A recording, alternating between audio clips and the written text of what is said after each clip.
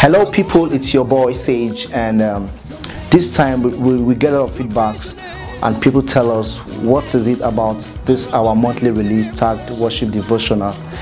And this is it. Um, we have a mandate to let the whole world glorify God and sing of His praise. And as you guys thought, um, we have a mini project tagged worship devotional. It's basically uh, a monthly release of new sounds from heaven to refreshing our fellowship with Him, to refreshing our our playlist. A lot of us have so many songs on playlists. Some of them are too old, some of them are so long. We enjoy it right, but every time God speaks to His people, and what we do here is translate what God has for each month into a song, transpackage what God has given for each month. Because I believe, we believe that every month there is a blessing attached, there is a message attached, and that's what we do. And we are here forever. We are here to bless you. We are here to serve God. We are here to help your church, help your ministry grow. And that's it about it.